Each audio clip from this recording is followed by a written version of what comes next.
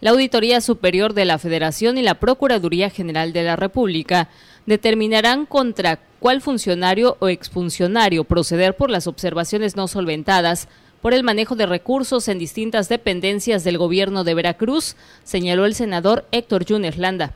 Aclaró que aún no vencen los 120 días que tiene la auditoría, posteriores a los 30 días que tuvieron los funcionarios para solventar las observaciones.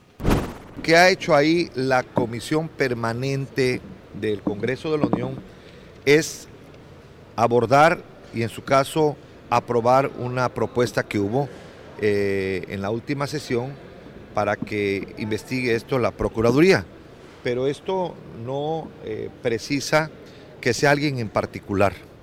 Eh, habla simplemente de investigar a quienes ejercieron recursos públicos que no hayan solventado lo que observó la Auditoría Superior de la Federación.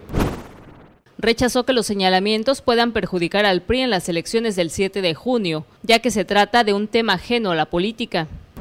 A ver, este no es un tema de partidos.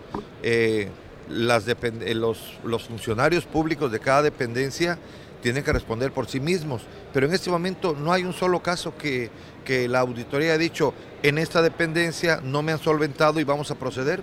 No ha habido ni de otros estados. Hay estados gobernados también por la oposición, por diferentes al nuestros, y tampoco les han señalado ninguna responsabilidad.